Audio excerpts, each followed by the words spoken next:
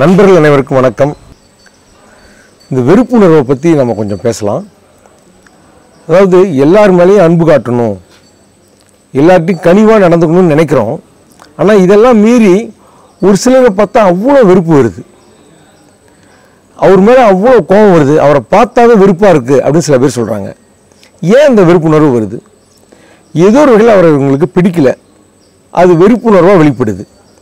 வெறுப்புணர்வை யார் தான் விரும்புவான் இவங்க வந்து அவங்கக்கிட்ட அன்பு தான் காட்டணும்னு நினைக்கிறாங்க. ஆனால் அவங்கள மீறி அவங்க மேலே பார்த்தா அவங்க வெறுப்புணர்வாக இருக்குது இருந்து விடுபட முடியலன்னு போராடுறாங்க. எவ்வளோ போராடினாலும் கடைசியாக அவங்கள அறியாமலேயே அந்த வெறுப்புணர்வுகள் என்ன பண்ணிடுறாங்க? அவங்கள ஏசிடுறாங்க. அவங்கள வந்து மோசமான வார்த்தைகளால் திட்டிடுறாங்க. இதனால் என்ன ஆகுது? உறவு தான் கெட்டு போகுது. இப்போ இந்த வெறுப்புணர்வுலேருந்து நம்ம எப்படி விடுபடுறது? இந்த வெறுப்புணர்வுங்கிறது கூட நம்ம இயல்பிலிருந்து வெளிப்படுது. இதை நம்ம உருவாக்கலை. அது தன்னால் தான் வருது. என்ன ஆகுது? நமக்கு நம்மக்கிட்ட வெளிப்படுறதுனால இது எனக்கு ஏற்பட்ட வெறுப்புணர்வுன்னு நினச்சிட்டு நம்ம அதோட அடாப்ட் ஆயிடுறோம் அதை எப்படியாவது வந்து விடுபடணும் போராட ஆரம்பிச்சிடுறோம். நம்ம போராட்டம் தான் இந்த வெறுப்புணர்வு வந்து செயலாக மாற்றி நம்மளை பேசவும் வைக்குது. நம்ம என்ன பண்ணலாம்? நாமளாக முடிவெடுக்கலாம். விருப்புணர்வை நம்ம ஒன்றுமே பண்ண முடியாது. அதுக்கு நாம் கருத்தாக கிடையாது. நம்மக்கிட்ட வெளிப்படுது அவ்வளோதான் பட் நாம் வந்து அவங்ககிட்ட வந்து அன்பான வார்த்தைகளில் பேசுவோம். அவங்கக்கிட்ட கனிவாக நடந்துக்கோன்னு முடிவெடுத்துட்டால் மட்டுமே போதும். ஒன்று நமக்கு ஏற்பட்ட வெறுப்புணர்வுக்கு நாம் ரெஸ்பான்ஸ் இல்லை.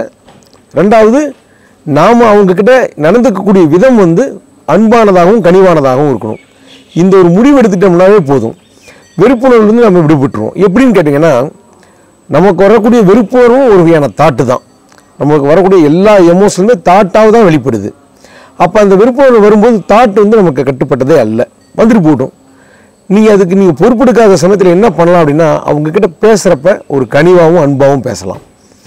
நீங்கள் என்ன எப்படி செயல்படுறீங்களோ அதுதான் உங்களுடைய இயல்பாக மாறிக்கிட்டு இருக்கு.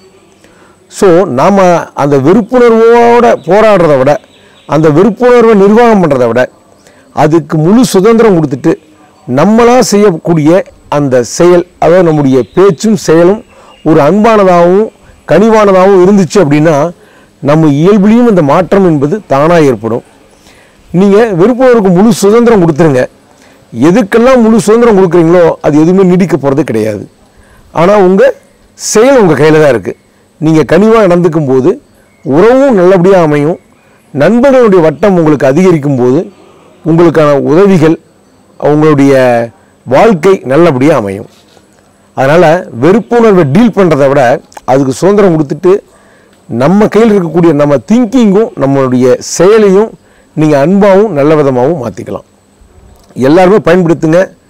எல்லாத்துட்டையும் அன்பு காட்டுங்க. இப்போ வந்து இன்னொரு வழிமுறை கூட இருக்குது நம்ம என்னென்னு கேட்டிங்கன்னா நம்ம ஒருத்தர் மேலே வெறுப்பு வருது. அது தானாக தான் வருது ஸ்பாண்டியூஸாக வருது. பட் நாமளாக எடுக்கக்கூடிய முடிவில் அவரை நம்முடைய நண்பராக பார்க்க ஆரம்பிச்சிருங்க.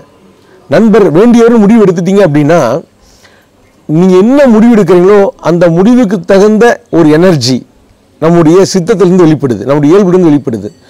நீங்களாக எடுத்த முடிவு வந்து நண்பராக பார்க்கும்போது அந்த வெறுப்புணர்வு கூட மாறுவதற்கு வாய்ப்பு இருக்குது இன்னொன்று உங்களை ஒருத்தர் விரோதியாக பார்க்குறாரு உங்களுக்கு துன்பத்தையே கொடுக்குறாருன்னு கூட வச்சுக்கோங்க. இவர் எப்படி டீல் பண்ணுறது ஒரு விஷயம் நம்மளை பாதுகாத்து கொள்வது என்பது மிக முதன்மையானது பிரைமரியான விஷயம். மற்றவங்க கொடுக்கக்கூடிய துன்பத்தில் இருந்தும் அவங்க கொடுக்கக்கூடிய டிஸ்டர்பன்ஸில் இருந்தும் நம்மளை முதல்ல பாதுகாத்துக்கணும்.